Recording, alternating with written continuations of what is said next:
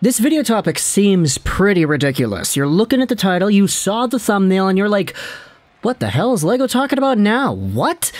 I know, that's exactly what happened when I read the article that we're going to be reading today in this video, but don't get me wrong, this is the kind of story that I think people are going to want to hear more about rather than want to skip out on. It's one of those things that once you learn about it, it's like, oh, that's actually pretty cool, and it's nice to see things work out the way that they did.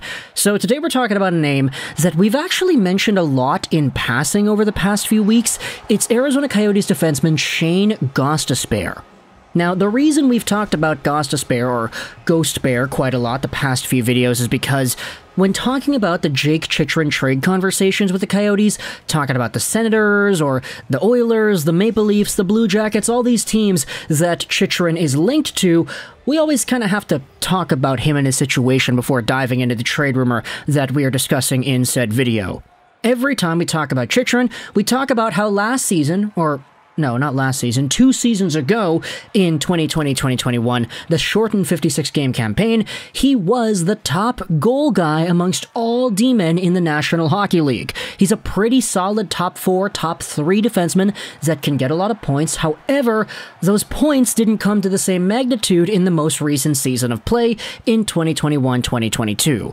Now, I would always say that, hey, Jake Chychrun was not given a lot of power play time on the first unit, which is why his point production declined, but it's a combination of that and the fact that he was also injured. The reason he wasn't given too much power play one time this season, though, or last season, I guess I should say, yeah, this season is 2022 2023, which hasn't begun yet, but then again, semantics aside, the reason Chychrun was taken off the first power play unit was because the Arizona Coyotes got another guy that kind of replaced him Shayne Gostisbehere from the Philadelphia Flyers. Now, Gostisbehere is a name that we've been talking about on this channel literally since like 2016. It's been a long time going over Gostisbehere and seeing what he's become in the past few years. This is because back as a third round pick in the 2012 NHL entry draft, Gostisbehere kind of came out of nowhere when it came to just what he was able to accomplish as a prospect. He was so good for Union College in the NCAA, getting 34 points in 42 games played as the team won the national championship in 2013 14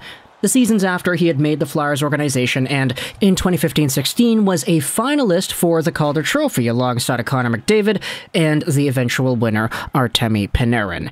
Ever since then, though, Gostisbehere had a few ups and downs. He wasn't really able to sustain the amount of production that he was able to get. He had 65 points in 78 games played in 2017-18, but the seasons after saw Gostisbehere really fall out of favor with the Flyers. He stopped producing as much as he did in the past.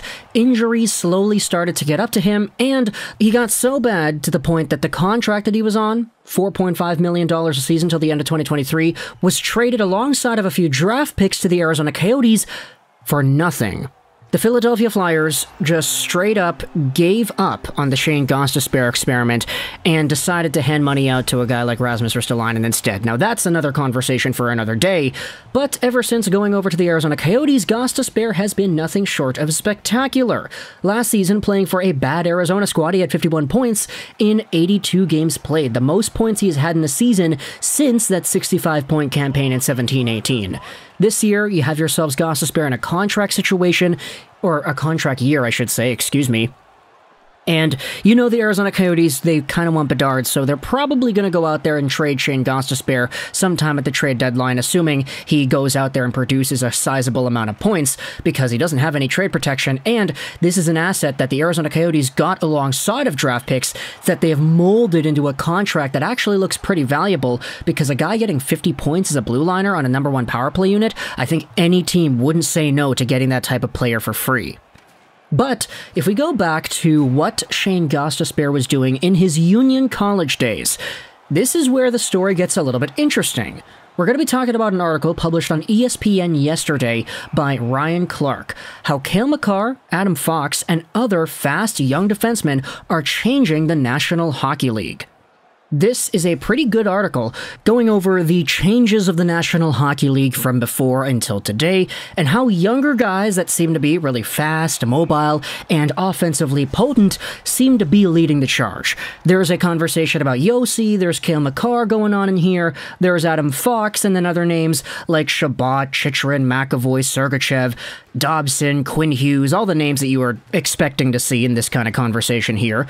But if you go over to some of the quotes made by these defenders in conversation for this article, it gets really interesting when you talk about who inspired who. Growing up, I felt like that was kind of the way the game was heading, said Zach Werenski, who was drafted by the Columbus Blue Jackets in 2015. A lot of defensemen were puck moving. I played at the NTDP with Noah Hanifin and Charlie McAvoy, guys who play similar styles to me. Now you see Cale Makar and Roman Josi, those guys are so talented, almost scoring 30 goals at 100 points while still playing great D. Nowadays, to be successful, the game is so fast, you have to be a good skater, but you also have to be able to create offensively as well. There are some more comments made by other guys. Rasmus Dahlin, there's a comment or two made by him. It's a really good read, so go out there in the description and click the link to read this piece on ESPN.com. But the conversation we're talking about today comes from Cale Makar. Take a look at this assessment right here. Makar, who was the second overall defenseman drafted after Heiskanen in 2017, said he started playing defense in Atom hockey. He said he liked being a forward, but enjoyed being a D-man more because it allowed him to be the first skater back and in a position to control the game. He praised his youth coaches who helped him gradually get more comfortable being a puck-moving defenseman. Makar said those coaches showed him a lot of faith, to the point he admits to looking like a little bit of a puck hog when watching footage from his youth hockey days. Even back then, Makar could use his agility, his stick handling, speed, timing, and vision as a way of deceiving opponents to his advantage. But because he did not see defensemen at higher levels play that way, Makar thought it might not work as he went up the ranks. It might have been the first year in Canada they aired the NCAA Championship with Shayne Gostisbehere in Union, Makar recalled. That was kind of the first guy where I was like, wow, He's doing that. All the stuff that I'm doing right now, but at a level that is way higher. In my mind, it was like, wow, there is some hope there. It was the first moment I realized there was a change in style. That was definitely a defining moment for sure.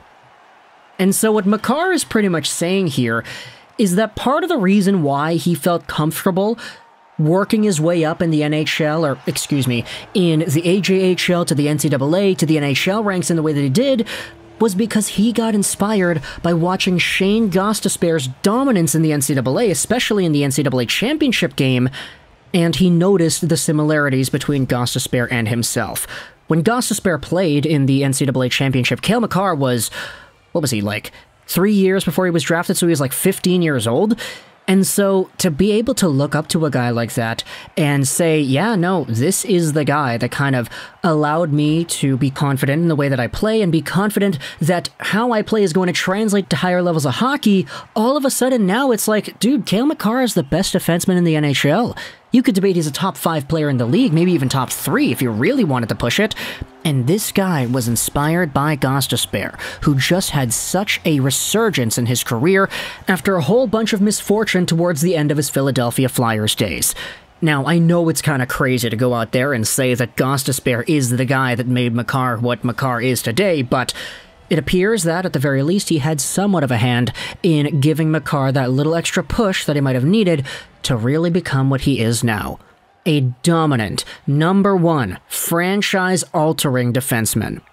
Talk in the comments your thoughts about Shayne Gostisbehere and what he used to be, how he is transformed back into a version of his older self with the Arizona Coyotes. How well do you think he's going to play in 2022-2023? I hope he plays well because I took him as one of my last picks in my Fantasy Hockey League with Audie James, Hot Take Hockey, and a few other hockey YouTubers whom you might recognize as well. So, for my fantasy team's sake, yeah, I hope Shayne Gostisbehere goes out there and does pretty well. But if you're an Arizona Coyotes fan, which I don't really know if there are too many of you out there, please let me know your thoughts in the comment section below about Shayne Gostisbehere and his progression from what he was, which was an extra throw on, a scrap player with a contract that you got for free alongside of draft picks, to what he is today, a 50 point defenseman that's pretty great in my eyes, but what are your opinions? Do you think he expands on that more next season? Let me know in the comments if you're a Flyers fan as well. What are your opinions on the resurgence of Shayne Gostisbehere, as well as the idea that he legitimately went out there and inspired Cale Makar to being what Makar is today? Talk in the comments your thoughts. I hope you enjoyed this video. Trolls 99 and bye.